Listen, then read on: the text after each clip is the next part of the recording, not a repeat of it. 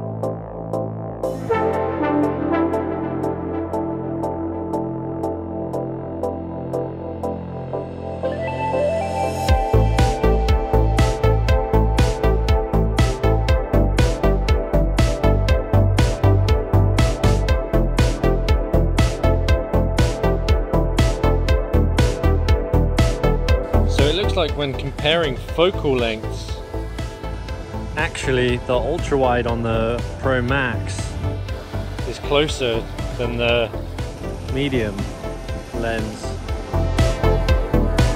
the Osmo.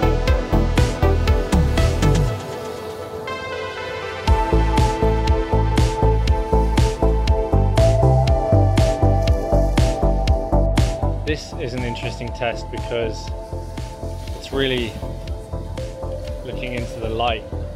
There's a lot of high contrast here on this image.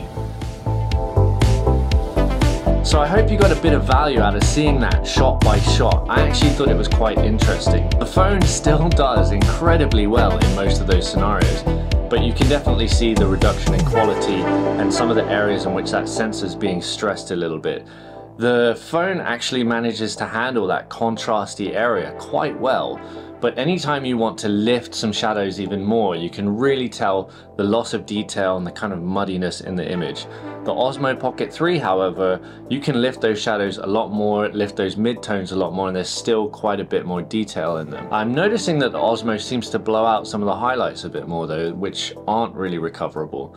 But overall, of course, the image is much better on the Osmo, and I do kind of think that if you are intentionally going out to film something, it's probably better to bring the Osmo Pocket 3 over the iPhone. Um, but of course, like always, the phone is always a great backup, especially as you have it with you almost all the time. Unfortunately, I don't have a 15 to compare it to. Maybe I will in the future.